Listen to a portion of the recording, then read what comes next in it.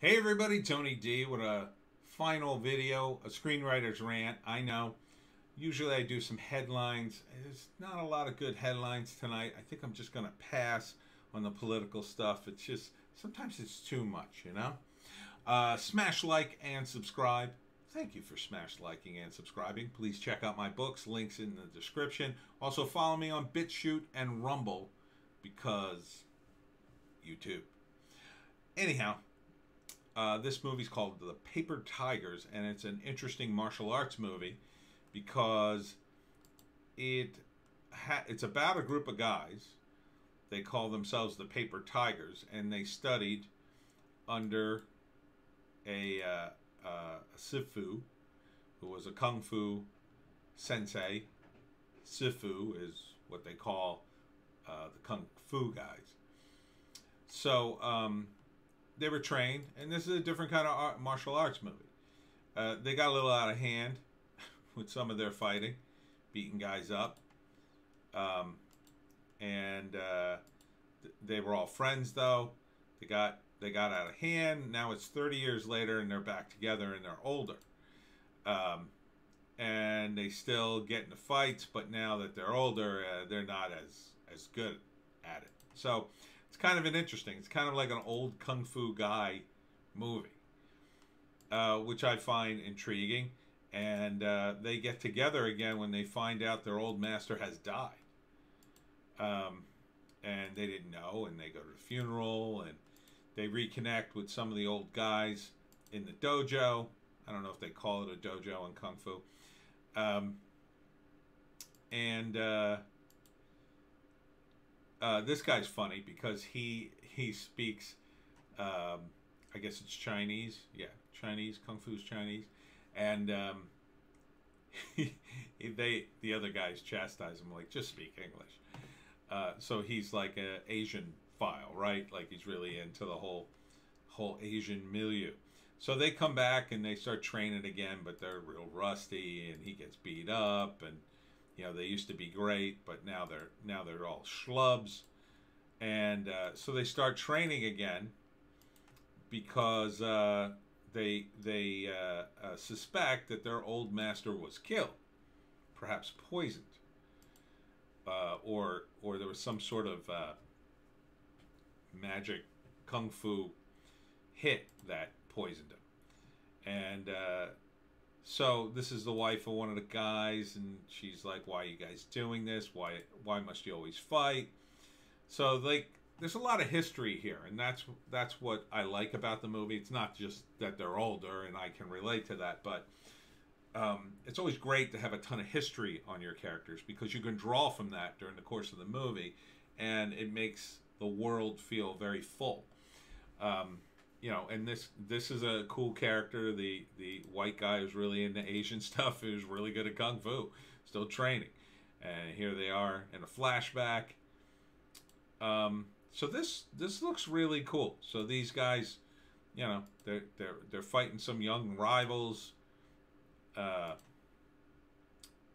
here's a guy who who wants to join them, but he's sort of like a amateur. Um, so who made this movie? Written and directed by Tron Quoc Bao. Uh, hmm. Well go, well go USA Entertainment. Not sure if that would be an American company, because I think a lot of times um, when you've got the foreign market, the distributors will give themselves a name like that so they can get into the American market. Um, because there seems to be a lot of Asian uh, people in the mix, and the movie doesn't seem that it looks like it takes place in America. So this may have been produced by uh, a Chinese outfit or Asian, at least an Asian outfit. But I, I think it looks good. I gotta say, um, and I like the message. You know, the old guys get together and they have to uh, uh, protect, or not protect because he's dead, but to avenge their old master. So the first act, you know, it's uh, them back in the day and they train. Um, and for whatever reason they they go astray. They they get into trouble, um, and then uh, it's 30 years later. Now they're all out of it. They've all got lives, um, and for some reason they get back together. I think probably because of the funeral. So then the second act, they go to the funeral. Uh, you know, their old ways start to come back. They they reconnect with some of their old friends. They end up back at the old dojo, and uh, they start to, you know, think about maybe working out again. You know, getting back into shape and fighting again. Uh, but they're very reluctant. But then they they get the message that maybe their old master was killed, and they can't let that go. He was a great he was great to them, and they all feel that they let him down, uh, which is a great sort of hook. And uh, so they decide to do their own investigation. But of course, they're not very good. They're not detectives, and uh, I also like that. It's very appealing about the characters. They're just regular guys who were in the martial arts for a while, and now you know they're struggling to uh, get back into it. So they get back into it. They retrain while they're hunting down, you know, their the potential murderer or whatever. And then the third act, they probably find them and uh, have some sort of confrontation, or possibly not. Like this kind of movie, uh, the tone of it wasn't super serious, so I could also see it ending with them realizing that no, he he wasn't murdered and um, he just had a heart attack and they're they're they they put it in their their own head that they had to avenge him because they feel bad for letting him down.